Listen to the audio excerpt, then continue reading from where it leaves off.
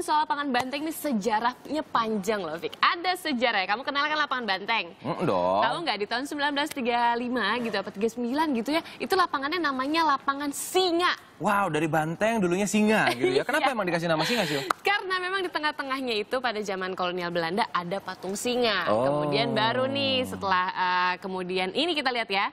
Ini dia wajah lapangan banteng. Nah, Ini patung pembebasan Irian Barat nih ya. Mm-mm. Yang sekarang ada di lapangan banteng. Jadi nama lapangan Banteng ini mulai terkenal itu sejak uh, masa pada pemerintahan uh, Presiden Soekarno gitu dan dianggap lapangan Banteng ini dengan sebutannya lapangan Banteng gitu ya. Kamu berasa semangat nggak? Semangat Iya, sih. jadi itu memang dianggap mewakili semangat masyarakat Indonesia juga nih gitu ceritanya. Hmm, tapi kalau untuk penyebutan bantengnya sendiri, kenapa dikasih nama banteng? Itu ternyata masih ada beberapa perdebatan juga sih. Jadi katanya eh, ada beberapa opini lah gitu. Katanya dulu di situ memang masih banyak hewan-hewan liar, ada kijang, ada rusa, ada banteng juga.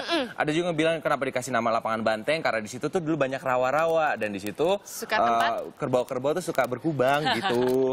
Makanya Tapi- sebutnya lapangan banteng. Betul.